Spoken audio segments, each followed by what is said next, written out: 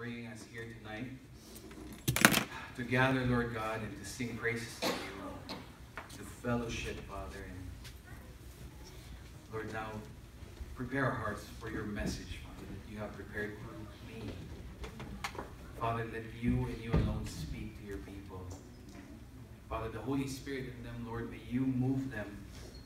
Father, open the eyes of their hearts, Father, for that brother or sister that needs encouragement. May they be encouraged, Father God. For that person that you are calling to have that intimate relationship with you tonight. Father, may they surrender and yield to you. And Lord, I pray for that brother or sister that needs that gentle rebuke from you. May this be the evening that they will surrender everything to you. Father, override my preparations, Father God, and may you encourage me, Lord God, and give me the words that you and you alone speak. In Jesus' name we pray. Amen. Okay, so after some great singing and the presence of my, my friends here, longtime friends that I haven't seen for a while, really brings you to an emotional state. Um, Caesar is about to go back to the Philippines for good. So if you become one of my closest friends, you're going to be called to the Philippines too. Because it started with Pastor Julius, now it's Caesar. So, anyway, God is in control of all things. Amen?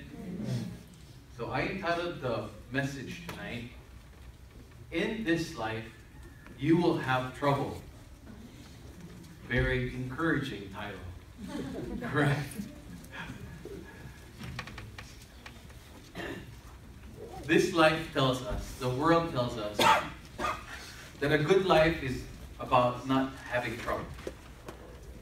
American life or the American dream is about acquiring everything that you desire, that your heart's desire. A successful life translates with everything materially first, and then everything else is owned by your own opinion. But the Bible says, Jesus said, in this life, you will have trouble. For a Christian, you will have trouble. For a non Christian, you will have trouble. In this life, you will have trouble. Do we agree? Amen. Let's start reading in the book of Mark, chapter 4, verse 35 to 40. That day, when evening came, he said to his disciples, Let us go over to the other side. Leaving the crowd behind, they took him along, just as he was, in the boat. There were also other boats with him. Jesus, after Jesus did um, uh, ministry, like a mission work, now he had to go to another place. A furious squall came up, and the waves broke over the boat, so that it was nearly swamped. Jesus was in the stern, sleeping on a cushion. The disciples woke him and said, Teacher, don't you care if we drown? They were with Jesus. They're experiencing trouble. There's a storm. They're on their way to another mission trip, to a service. You're with Jesus. You're on your way to church. And then trouble hits you. Just today, I was preparing the message, finalizing the thing. And then my neighbor started trouble with us. To a point I have to call the cops. Yes. I no, right? Call the cops. Must be really serious. Yes, it was serious. But in this life, we will have trouble. I was thinking there that the enemy was preventing me from getting here. I was thinking there that Jesus was going to use that event for the message. That's what we're doing. Other than what else I was thinking. But praise God, He told me to call the cops. Um, wasn't as serious as uh, you know when you call cops, or like your imagination goes wild. But I had to. But for your life too. Not just because you have a relationship with Jesus, then life becomes easier. It actually becomes harder. Is the way that we used to approach things on our own, God's telling us to not do it. Now we need to surrender and to do what He wants us to do, which is normally what we don't want to do. How I wanted to approach that uh, scenario earlier wasn't call, wasn't calling the cops. The old me, I wasn't gonna call the cops, but the new me, God had, gave me that wisdom. Just call the cops. anyway, moving forward, he got up. Jesus got up, rebuked the wind, and said to the waves, "Quiet, be still." That's what Jesus will do to our troubles. When we call upon Him, Jesus has the power to stop the trouble. Whatever storm you may be facing at work, at your family, in school, with your relationships, if you call on Jesus, Jesus has the power to make the storm be quiet and be still. Then the wind died, died down, and it was completely calm. He said to his disciples, Why are you so afraid? Do you still have faith? You see this? If you are afraid because you have no faith, if you are worried because you have no faith, when we worry, we lack faith, we lack trust on Jesus. So why? Why do we worry? Why? Is our Jesus, is your Jesus just very small? Oh, he can do this, but not my problem. He cannot solve my problem. Or you say, God can solve my problem, but do you truly surrender that with all your heart, with all your strength, and with all your mind? Do you? Or sometimes you say, I know my heart needs to say, this is what I need to feel. My God tells me he'll take care of this. But your brain's saying, where are you going to get $10,000 right now to get you out of this hole? So your mind, your logical mind versus what you're feeling is not together. God says we need to know. We need to know. Because when trouble hits, our feelings, we're just going to react to what's going on to us. That's our human nature. But the knowledge of God, that God is in control, that God can do it, that should help us, then our heart will follow. Amen? Amen? And they feared exceedingly and said to one another, Who can this be? That even the wind and the sea obey him. Now their fear of the storm all of a sudden was nothing compared to the fear of what they just experienced. Have you experienced God in a great way? Have you? If your prayers haven't been answered, it's because God is about to reveal something new to you, something new that you haven't experienced before. Have you had that experience? Are you ready to have that experience? Are you willing to have that experience? Their fear, they feared exceedingly.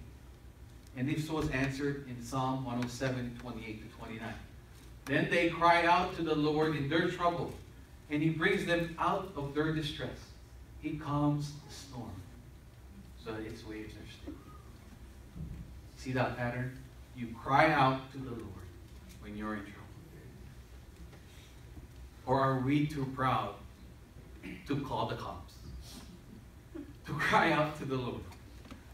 Are we too proud because we think we can handle this? Oh, this is nothing. I can do this. Especially if you have been gifted with a lot of talents. That all your life you've been you've been so self-sufficient. Now God puts you in a place where this is something that you know you cannot control and you cannot do. You have to cry out to the Lord. And then he brings, and then he calms the storm. Are you experiencing trouble? Do you have a heavy burden in your heart or in your life right now? Have you called out to him? Or have you given up? And now you're just going through the motions. I don't know, it's been five months that I've been praying for this. Well, you know what? I'll go to church. I got nothing else to do. There's no good game tonight. Or my team's to Might as well go to church.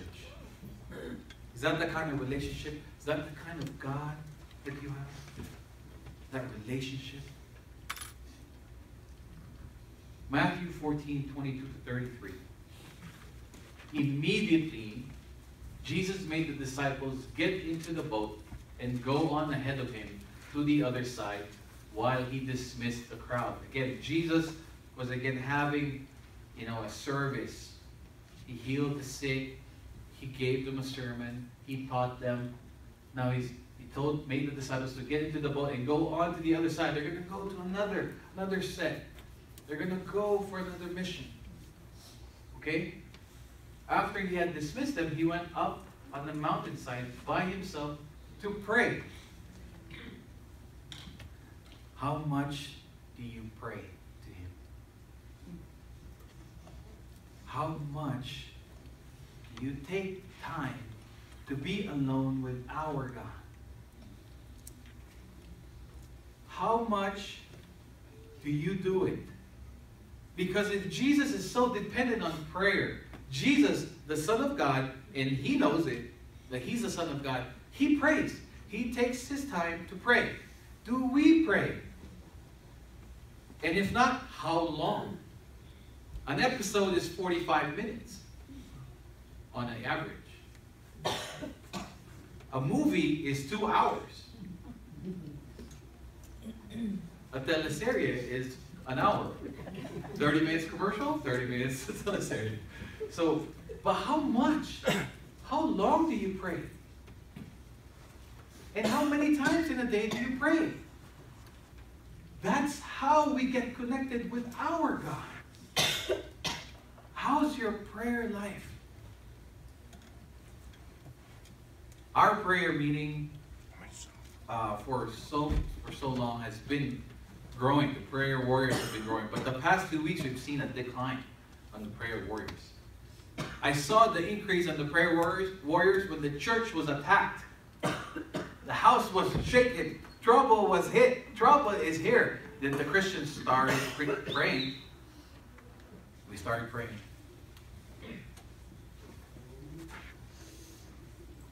If you're in trouble and you're still not praying,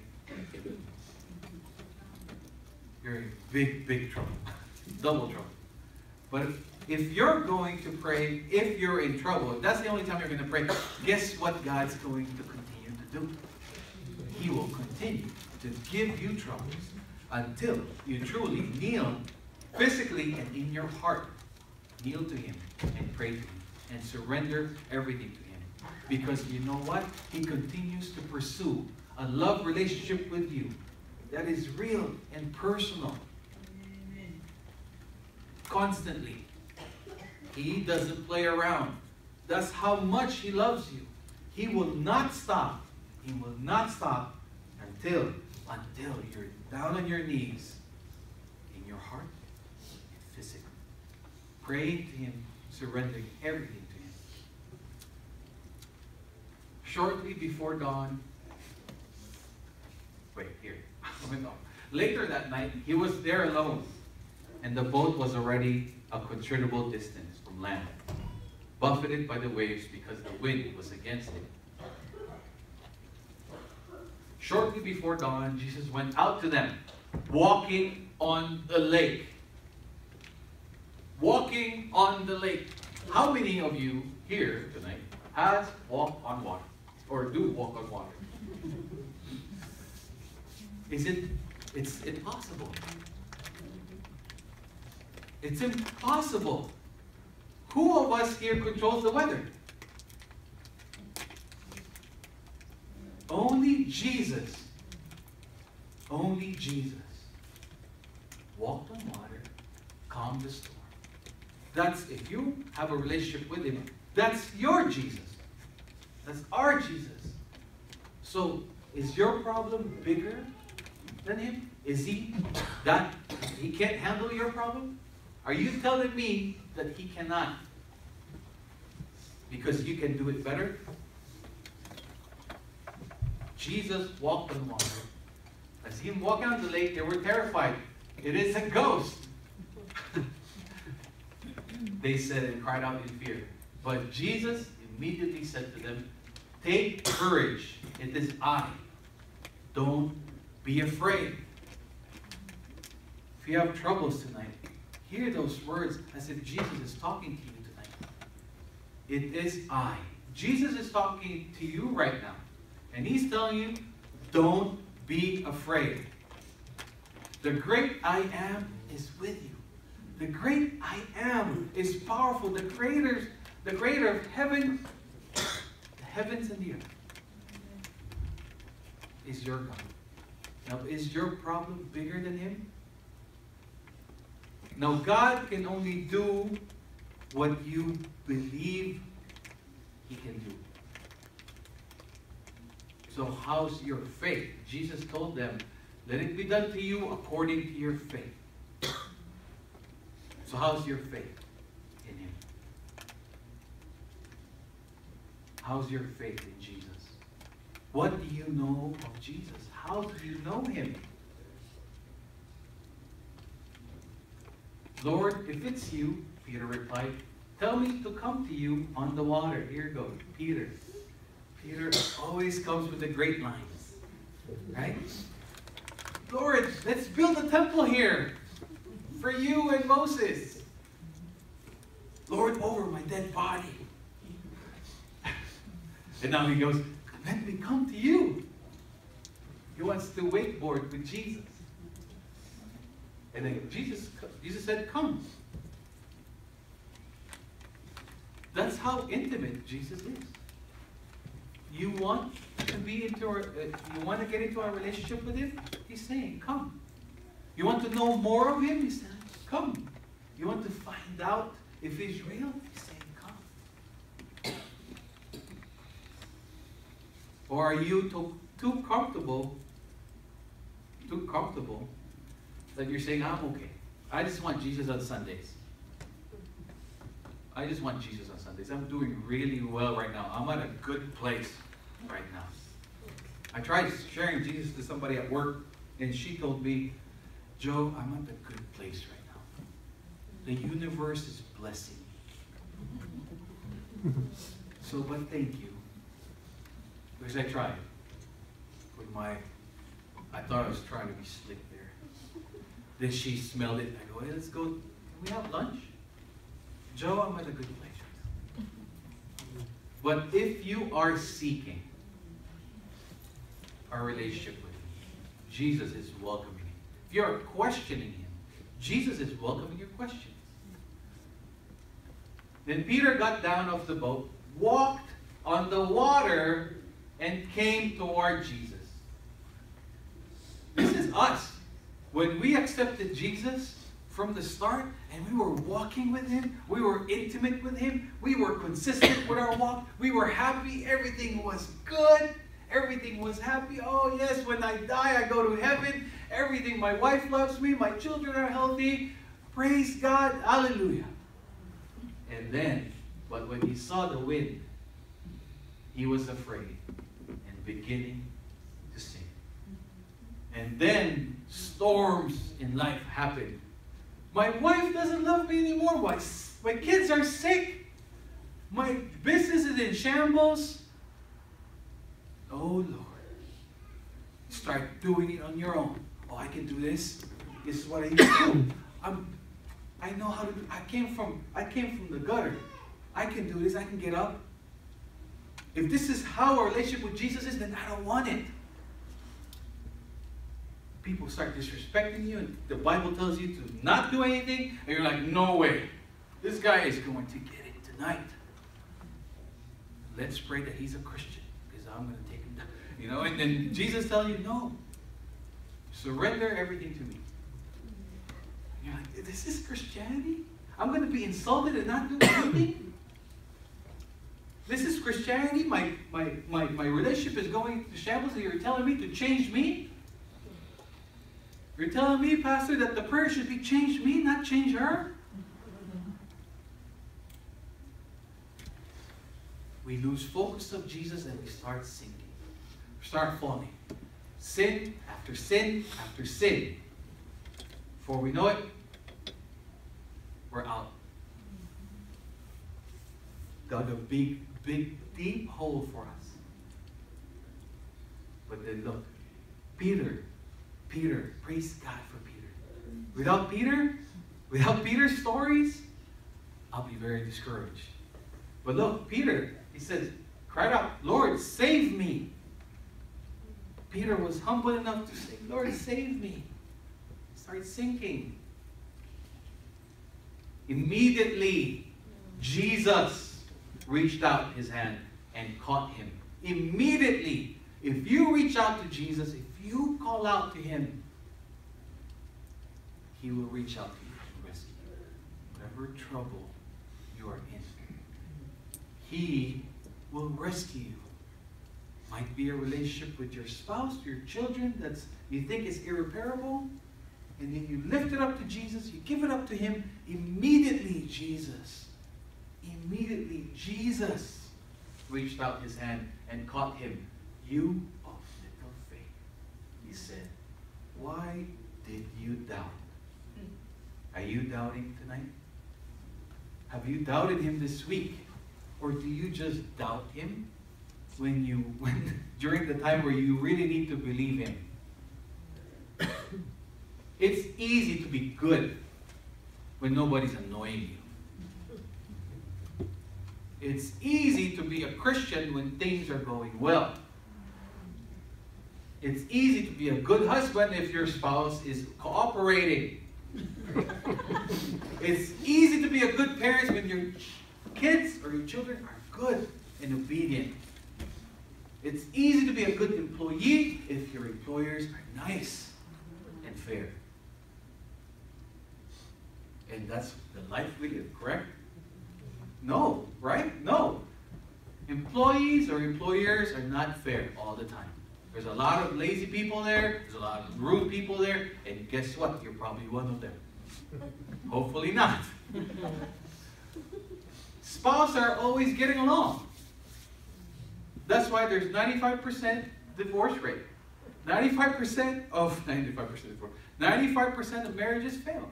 Only 5% makes it. Do we need Jesus? Do we need Jesus? Yes. Yes. You know what? If you and your spouse are getting along, praise God. But pray for everyone here at church. Pray for everyone because we need them. All the married people need prayers from other ones that are getting along. And if you have obedient children, praise God. Don't judge the ones that are having troubles with their kids. You pray for them. Because you know what? You never know. You might be on their side next time. And for those who don't have kids, I truly suggest to stop giving advice because you don't know. you have the best idea in the world. Oh, this is how, if I had kids, I would have not, you know, I've heard that so many times with my friends. Oh, if I had kids, man, I won't do, I, I won't let them run around like that in the restaurant. I was thinking, yeah, you think I want him running around? What do you want me to do? you know?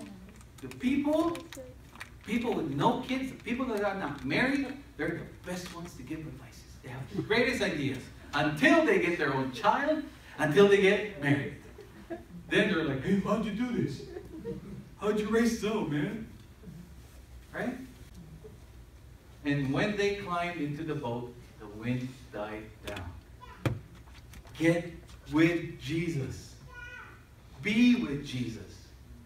And those and then those who were in the boat worshiped him, saying, Truly, you are the Son of God. When you overcome a challenge in your life, and people know that you're a Christian, and you told them about Jesus, that Jesus was the one that rescued you, they will worship God.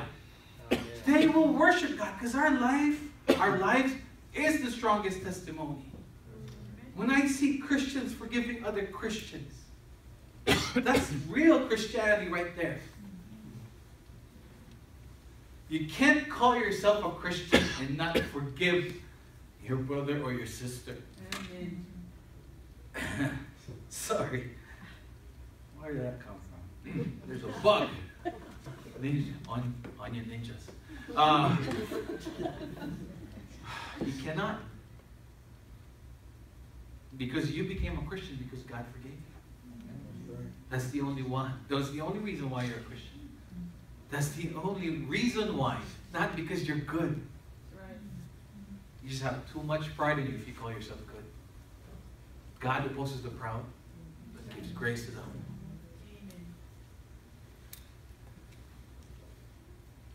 I have told you these things so that in me you may have peace. In this world you will have trouble. But take heart, I have overcome the world. Who's the I? Jesus. The great I am. He has overcome the world. But he is also telling us that we will have trouble in this world. Did I plan of not getting along with my neighbor? No. It's actually the reverse. I tried everything in my power to get along with my neighbors. What had happened? I have dogs. I have three little dogs. And they didn't like the barking of my dogs at 10 a.m. Yes, it's too early. But take heart. You will have trouble. Do you have trouble? Do you have financial problems? Is it because of bad decisions that you've made in the past? Is it a gambling problem? Is it because you don't want to work so much? Or you have financial trouble because you know you couldn't work. You couldn't work and now you have bills, medical bills are piling up. You think God can help you? I know God can help you. You too have to know that God can help you. Might not be right when you want it, but don't lose heart. Take heart. Jesus have over. He has overcome. Whatever it may be.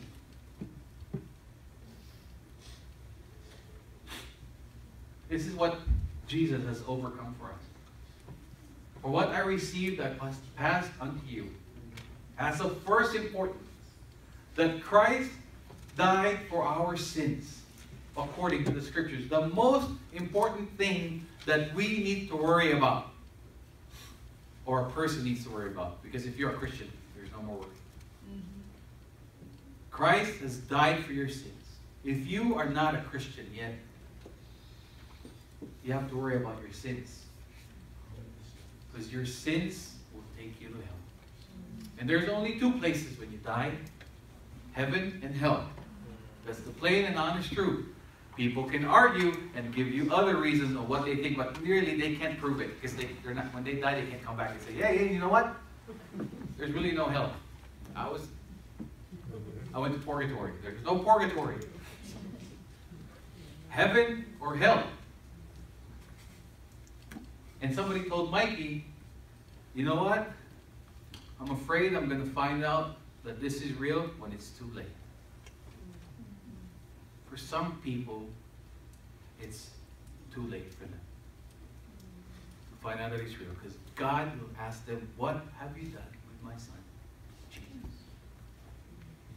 Brother Don's co worker, Brother Don has been sharing for so many years to his co worker. And his co worker of his de denied and denied and denied. Praise God, last Monday, he accepted Christ as his Lord and Savior. In the in the emergency room or the ICU of Renown. Brother Don and I went there. We what we thought he was um, incoherent, and I, to be honest, I was reluctant going because when Don said, "Yeah, you know, my coworker's had a stroke. Can you come with me so we can pray for him? You know, he's incoherent." And I heard the incoherent, I'm like, "Oh, okay. How can I share? He's not going to understand me." In my head. I wasn't telling Don because I didn't want Don thinking, oh, my pastor has no compassion. But I was driving, going to meet Don at the Renown. I didn't plan on doing anything that day. It was like my day off type of thing. I was driving. I was like, oh, Lord, what am I going to do there? He's incoherent. He's incoherent. Okay, I'll just pray. I'll pray for Don so Don will be encouraged. Because I know he loves his coworker. Okay, I'll pray for Don. True enough, when we got there, the nurse said, Oh no, he's coherent. so Don got the wrong information. Oh no, he's coherent. He just can't, he can't move. He can't react. He can't move. So we're like, oh, okay, can we pray for him? She's like, go ahead. She's like, can I pray with you? The nurse said, can I pray with you? So we're like, yeah, sure. In my head, thinking, you're a Christian. But then everybody prays these days, right? Pray, they pray to their car. Oh man, hope you make it. Take you to work today. hope you can make it one more month, bro. One more month. They pray to anything, right? So but I was thinking maybe she's a Christian. So we prayed. He, this guy started moving his arm. He heard Don's voice, and he goes, "Hey, brother Ricky. Hey, Ricky, this is Don. You know how Don talks. This is Don. I'm with Pastor Joe. Can we pray for you? Can you hear us?" What the nurse? What did the nurse say? He can't move. This is what he started doing. starts jerking his right arm. Starts moving his right foot. And I was like, whoa, whoa. Hey, can you hear us? And he started moving. I was like, hey, uh, do you want to accept Jesus, man? Right now. He died on the cross. We started sharing him the gospel. He accepted Jesus. That's right. And God took him last Thursday. You've seen, have you seen those last second shot by Stephen Curry? Stephen Curry? Those half court last second shots? You think that's impressive? this was impressive. It's like a last second opportunity for this man to accept Christ and be in heaven. The many times when he was strong, he declined Jesus. He denied Jesus. But then when God took his strength away, and everything that he knows about. But God is merciful through Brother Don and Brother Don's obedience and leading by the Holy Spirit. The gospel was shared to Ricky one more time. Amen? Amen. And then the nurse, the nurse was encouraged because the nurse is a Christian. But being a Christian and a nurse in the ICU, you cannot share the gospel by their rules. And she told us that she's a Christian when we asked her. That's the only time she can say. But she said, This is so encouraging for me because I've seen so many lives just going away. And without me giving the opportunity to share the gospel, I'm glad you guys did what you guys did. She was encouraged. When we do the right things, and when God takes us out of our trouble and we testify, people get encouraged. Amen? Amen. And that he was buried and he was raised on the third day according to the scriptures. And that he appeared to Cephas and then to the twelve. After that, he appeared to more than 500 brothers and sisters at the same time. Our Jesus is real. He is alive. He died, was buried, and rose again. He is real. So start believing, start believing start living it. That your Jesus is real, that you are talking to someone who is alive, that has the power to get you out of trouble. That trouble that you're in. That's that, that struggle, that bondage, whatever it may be. God is real. Just surrender it to Him. Give it up to Him. And then yield to Yield to Him. Surrender. And give your life to Him. If you are not a Christian, if you're a Christian who's struggling, just give it. Give that sin up to Him. He can do it. God can do it. Romans 8 28. And we know. So the title of our message is In this life you will have trouble. but this is what Paul is saying. And we know that all things work together for good to those who love God. Do you love God? No. And we know. Because when you're going through trouble, you won't feel like it. Praise God if you can still really tough it out. Because most of the time we, we feel the pain. When we lose a loved one, we feel that loss. We feel sadness. When we're struggling, we feel pain. We feel anger. We feel despair. We feel it. But we have to know that all things work together for good to those who love God. How do we love God? Why do we love Him?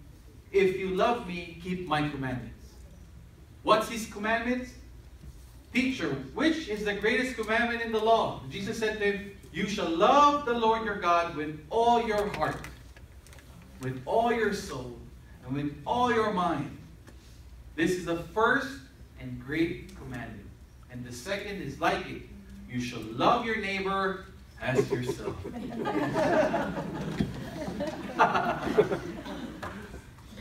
Let's be give that another laugh. love your neighbor as you love yourself. You can't do we can't love your neighbor if you can't love God. If you don't love God. If you only love God with your heart, what happens when trouble hits and then your heart's no longer there? That's why God wants your entire being, mind, heart, soul, strength. Your entire being is required. That kind of love. I know people here who love their spouses with that much passion, with everything. All of them, all of them. I'm giving my life for her. I asked the brother here, I said, if there, there was a shooter that comes in here, will you take a bullet for your wife? Will you cover your wife? Yes. The answer is yes right away. So if you will die for your spouse, why not live for your spouse? Amen? If you will die for your child, for your children, why not live for them? Amen? Peter said over his dead body. Right? Pretty much. He pretty much did die for Jesus after he got restored. For whom he foreknew, he also predestined to be conformed to the image of his Son. There is a change. We need to be like Christ. Our church says to know Christ, to become like him, and then to make him known. Are we becoming like him? Especially in our trouble. In your trouble, are you acting like Christ or are you acting like the old Joe? This is where I take the gloves off, Joe. No, we need to be like Christ. Because it is, it is written, Be holy, for I am holy. Holiness is required. There has to be a change. In this life, you will have trouble. But you have to know Christ is just waiting for you to surrender everything to Him. And He has the power to solve any and all of your problems. But we have to love Him with all of our heart, soul, mind, and strength. And as we do that, we cannot help but to be holy as He is holy. Jeremiah 29 11. For I know the thoughts that I think toward you. God thinks of you. God has plans for you, for us. That's how much He loves us. That's how intimate He is. He knows you, Nadine, and He continues to pursue a love relationship with you. Always. He has plans for you. At your young life, He has plans for you. Always. For Pastor Charles. He still has plans for Pastor Charles. For Brother Richard. Everybody. Everyone. Says the Lord. Thoughts of peace and not of evil. To give you a future and a hope. I think I like this version better. Because the other version says to prosper. Most of the time we equivalent prosperity with money, material gains. But peace. During the war, doesn't matter how much money you had in the bank. During wartime, what matters is survival. So when God gives you peace, when you're in trouble, it doesn't matter how much money. When you and your spouse are getting in trouble, it doesn't matter how much money you guys have in the bank. You have no peace. You want peace. And you will give anything in your power to get that peace, to be together with your spouse again, to be restored with your child again. Amen? So this is God telling us, for I, for He, for He knows, for He knows. So start surrendering everything to Him. Despite of this, in spite of the troubles that you might be facing, God is powerful. And God loves you. And He's waiting for you to just surrender and cry out to Him. And He will immediately rescue. Let's close in prayer. Father, we thank you for your message this evening. Lord God, I pray, I pray for that person, Lord God, that you are calling to be in a relationship with. Father, may they open their hearts, Lord, and may they surrender. Surrender to your call. And experience that life with you, Lord God. To gain eternal life, Father. I pray for that person, Lord, that um, wants to restore his relationship with you, to get back, get back in the boat with you, Lord. Father, I pray that help him, Father, or her, to admit that his ways or her ways are not giving them the ultimate that they thought they were going to experience or to have. Father, I pray for everyone here tonight.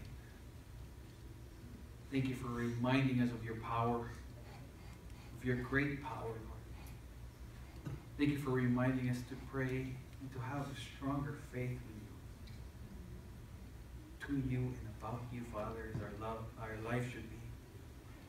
Help us to love you more, Lord God, with all our heart, mind, soul, and strength. Father, for those people who are in trouble, or have problems, Father God. I pray that you encourage them, Father. Encourage them, Father. Let them know that you will never forsake them, that you are always with them.